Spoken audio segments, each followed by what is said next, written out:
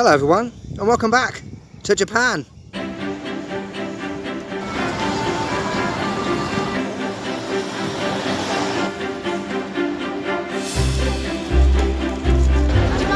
Arigatou gozaimasu.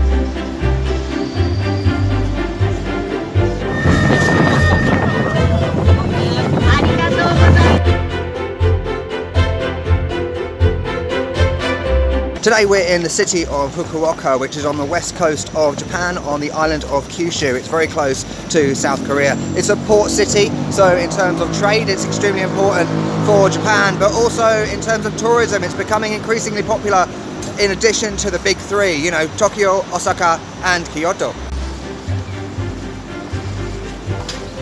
This video is where my two worlds collide, YouTube and teaching English online, because I'm not only in Fukuoka for travel, but I'm also here to visit one of my English students who is taking me to a local spot today that I'm beyond excited about. Now for long-term viewers, you'll know that this is my fourth visit to this awesome country. Japan is one of my favorite countries in the world. And the big message from this video is all about doing things in life that make you happy, regardless of what everyone else says. And one thing that makes me happy in life is cats. So as a result, today we are going to one of Japan's many cat islands. I'm so excited. Let's get going.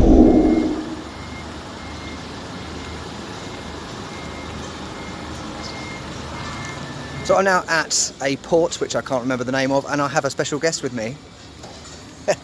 Hello. gozaimasu. Good morning. Well, this is the first. Uh, this is also my English lessons. Also, this is the first time. It's a debut day for me to debut as a tour guide, and then I will. I will show Ainoshima to my first first time guest, David. Fantastic! I cannot and, wait. I cannot wait. And then, as long we go, he also correct my English. Of course, yeah. So as I said at the beginning, YouTube and Italki are colliding today. Yes. In a good way. In a good yes, way. yes. very, very practical English lesson. Absolutely.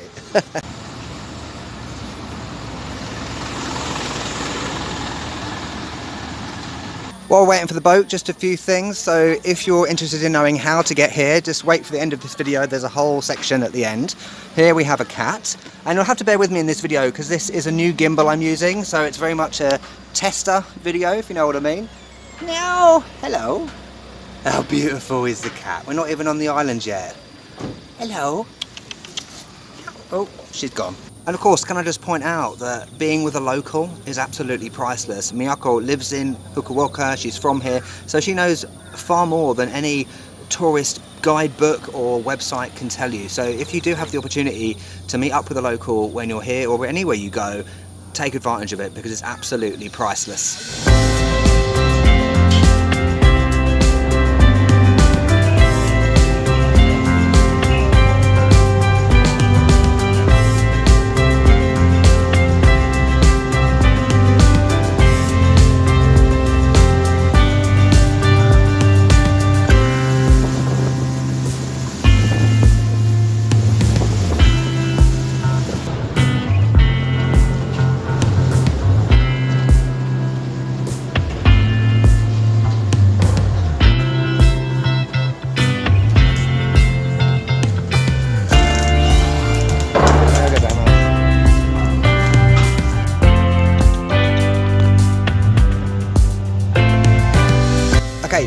Apologies for the lighting.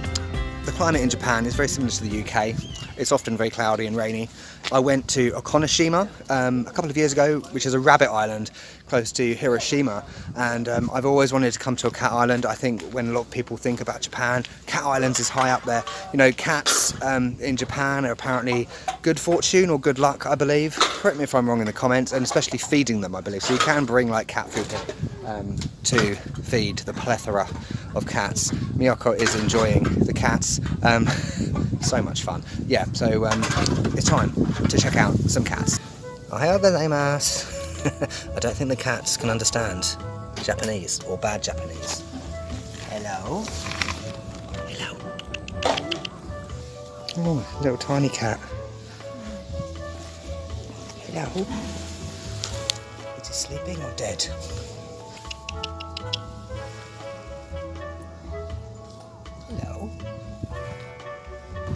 This is a cat island. This is so many cats as you expect. And this cat doesn't run away when I come here like this. So from this you know that how they are very friendly and people doesn't believe bully them. Oh, okay. Yeah, cats are beautiful. Just come to me. I don't have any food. I don't give him any food at all. But still friendly. They just sit next to you. and look at these mountains. It's beautiful. This is a, a fisher, fishing. David, how do you say? Oh, Fishing- um, fishing. Fishing, fishing island. So there's a lot. Island. There's a lot of fishermen that live here. Okay, fishing island. And how many people are here, Uh, roughly? roughly about 500 people, but I have checked it. It might be less. Yes, yes. It's, it looks like more less. And I think there's maybe like a hundred, a few hundred cats apparently. Yeah, yeah. So you see the more you see you see more cats than people. Typical cat, right? Showing their bum in the shot. So, yeah, cat islands. There are so many in um, Japan. There's at least 11 I've read about, and I've read that yeah, it's mainly fishermen, and that in the olden days, I don't know when, they introduced cats to the islands to control the rodent population. But obviously, cats, feral cats, will reproduce at an exponential rate, and um, the thing is with these cats, you know, normal cats would survive, you know, 15 years or whatever, but because of the conditions that they're in, they generally only survive three to five years. They live in groups, and the males, hello, are very territorial, as you can imagine, in like in the wild with wild cats. And um, hello, hello, hello. um, yeah, so they vie for the attention of females. Oh God, don't knock the camera over, cat. Oh my God. hello, beautiful. Meow. Yes, I talk to cats. and this one over here has a collar. So um, clearly not all of them are feral. This is Ebisu Shrine. Okay. In Jinja, you clap your hands. A temple, you don't. Fantastic. So this is the Japanese way.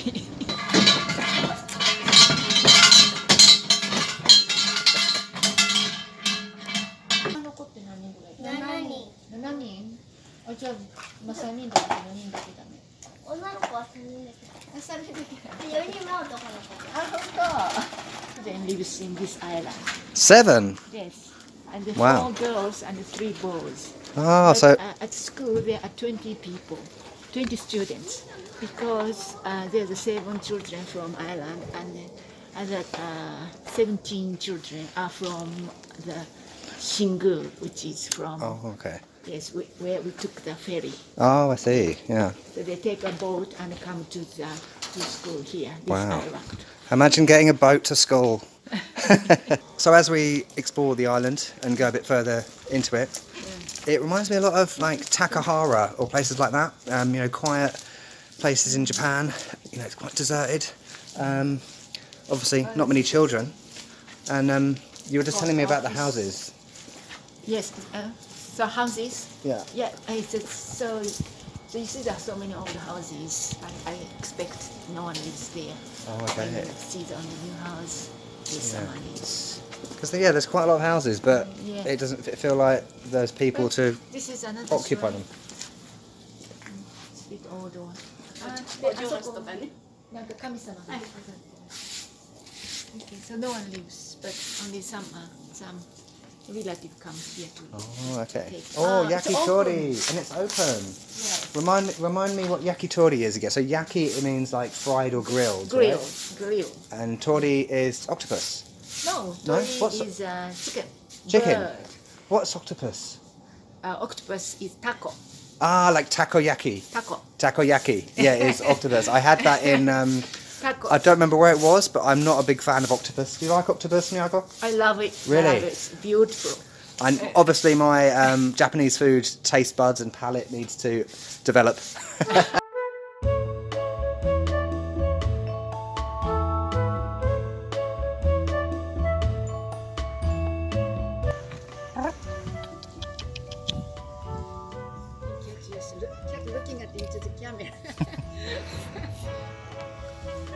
He's very. Yeah.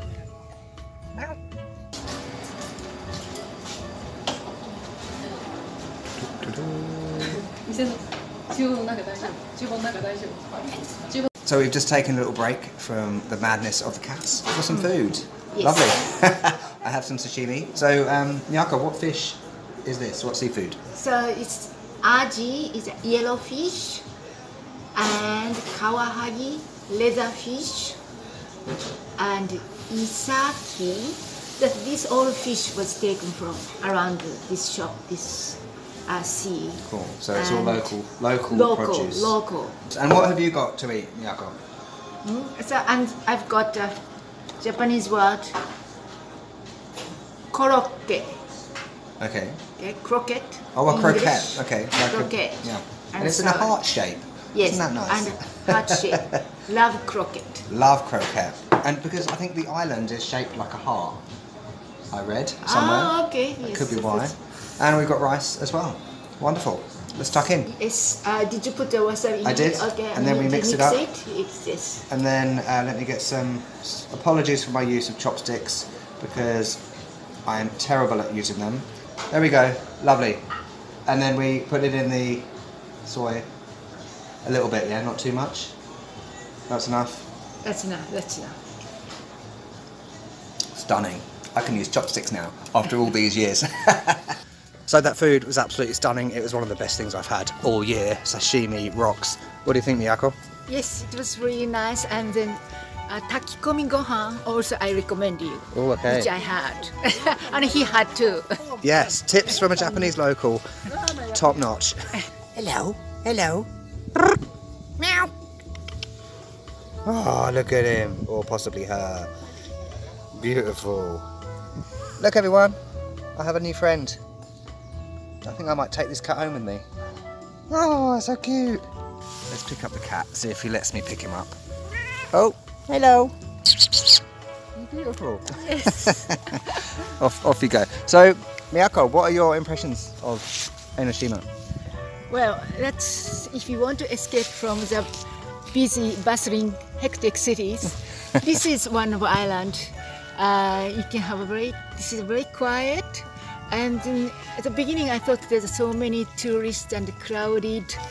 Uh, one of the uh, popular tourist place. However, Oh. indeed, Sorry, the cat. Indeed, it's not like that. You, you, you see the uh, you see the over the seas, the waters. You see there's a green uh, hills, uh, mountains. That make you really uh, feel calm. And then there are the cats. Is a big company with you. Hmm, See? beautiful cats. Yes, and it's not only cats.